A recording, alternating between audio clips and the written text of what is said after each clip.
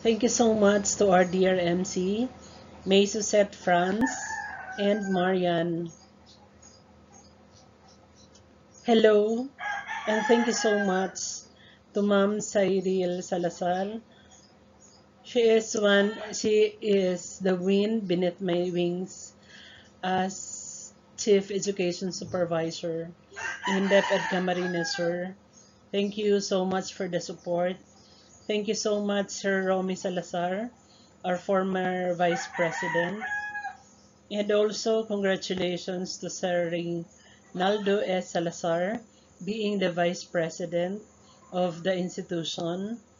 Also, a congratulations is, is accorded to Ma'am Yunila C. Archaga, the principal of the institution. Hello, and congratulations to the whole populace of Queen Royal Montessori School for celebrating the second graduation rites and having the eighth moving up ceremony. It's a su success amid the pandemic with the theme strengthening the quality of education amid the COVID-19 COVID pandemic. The challenge posed by this by this pandemic is to to let us maintain our health and being alive after this experience of pandemic. According to researchers, this may last from three to five years. So may, may we all survive and may we see each other after the the the occurrence of this pandemic. So for us, we considered quality learning, which em always emanates from quality teaching using appropriate assessment tools and technique. Whenever we are implementing implementing the curriculum, we always thought of three components The number one, the first one is the content. May we still have to work for the content mastery. It is all about what to teach. The second one is how to teach.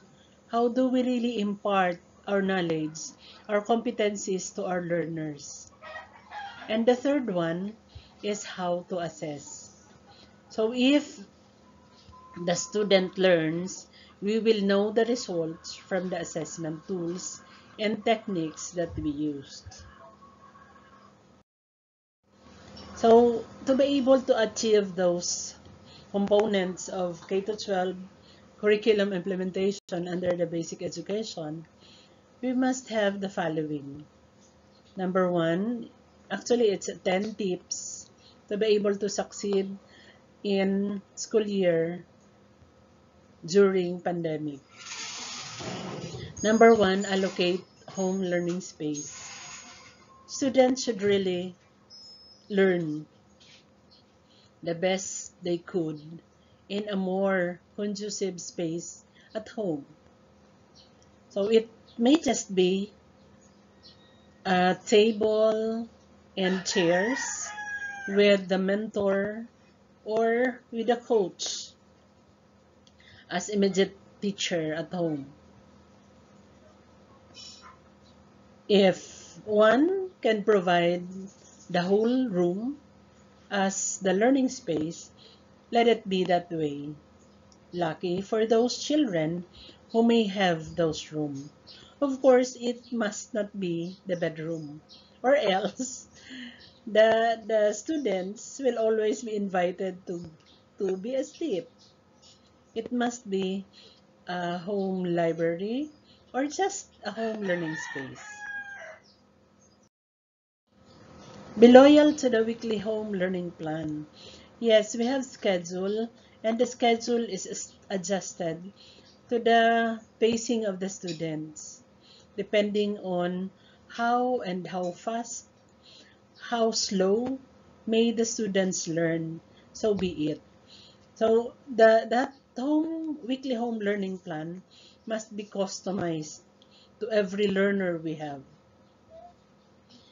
If they are fast learners, fast readers, so let us add additional work plan, additional task, so that the students will not get bored. Ano, they still enjoy while learning. Next is enjoy. The keyword is enjoy learning with the family. Let the student enjoy while learning with the family. So that's the secret of retentivity of learning. Na ang mga itinuturo natin ay totoong maitatatak sa puso nila at saka sa kanilang isip.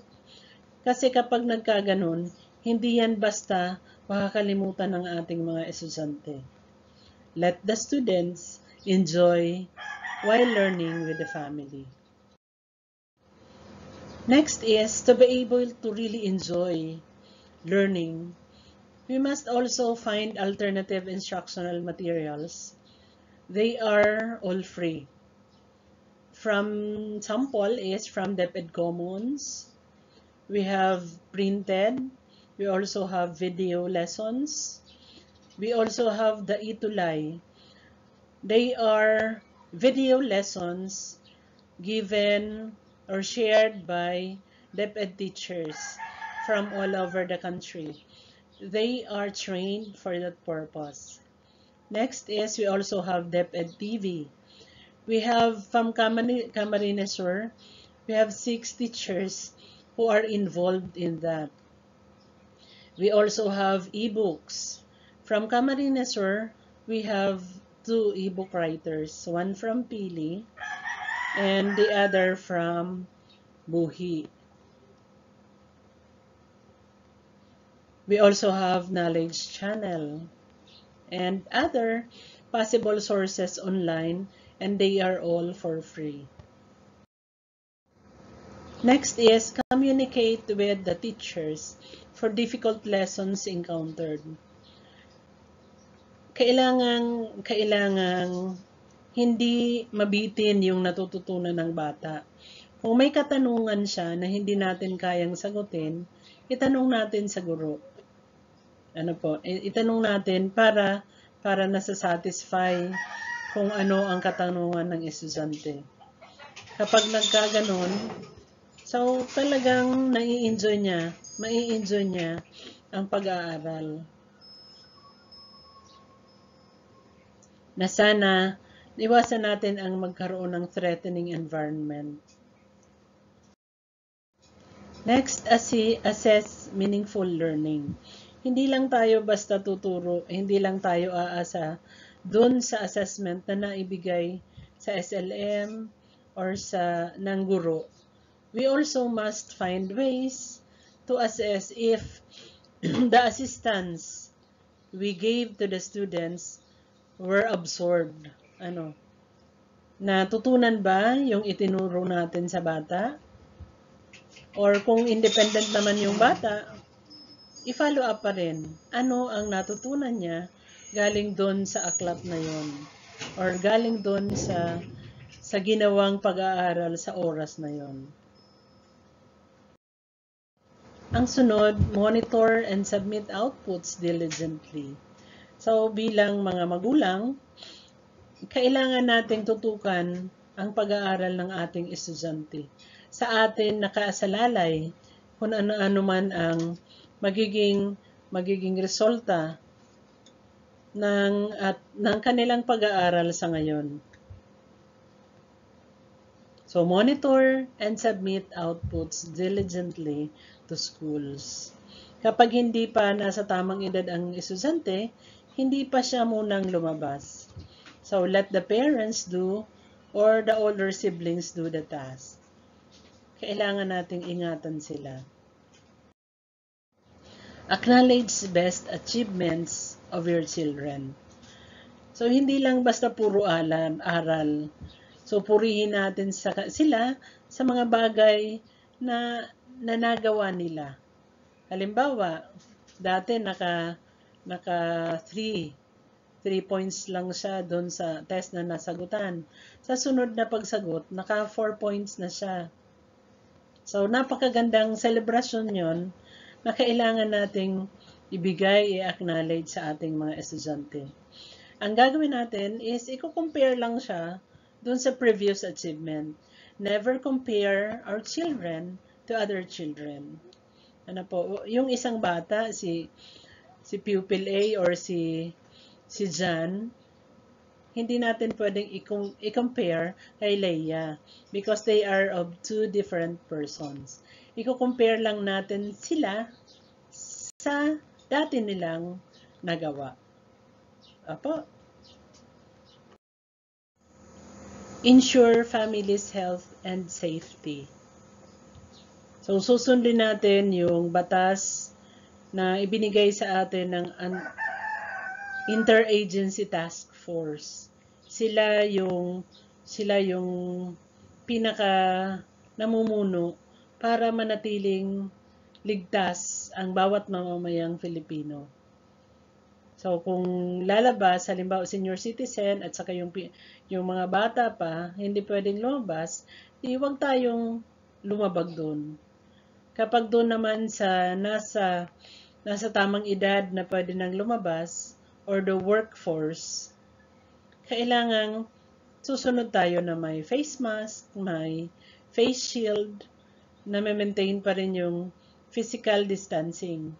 Tulad nga ngayon, kung ang graduation ay virtual, so be it. So be at our own places during this celebration.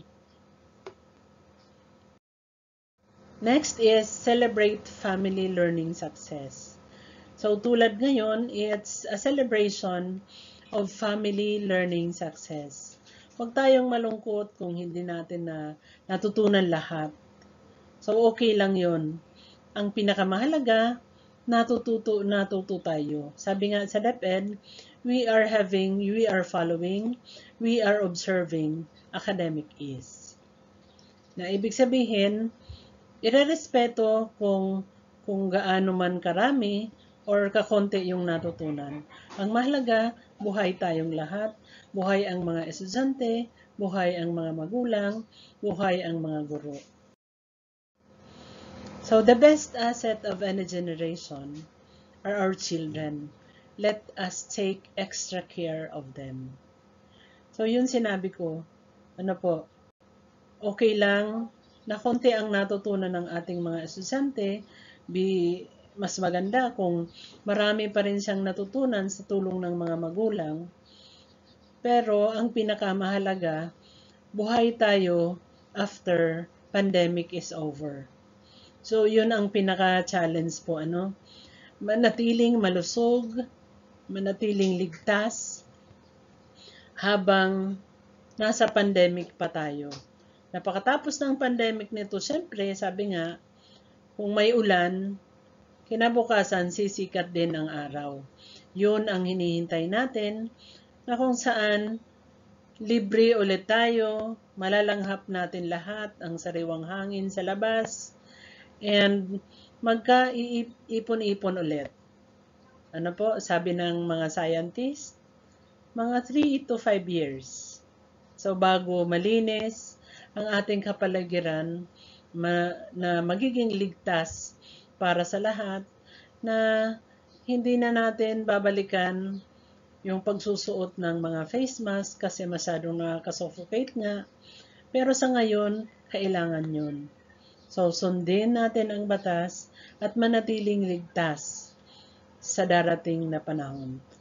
Thank you po and God bless us all.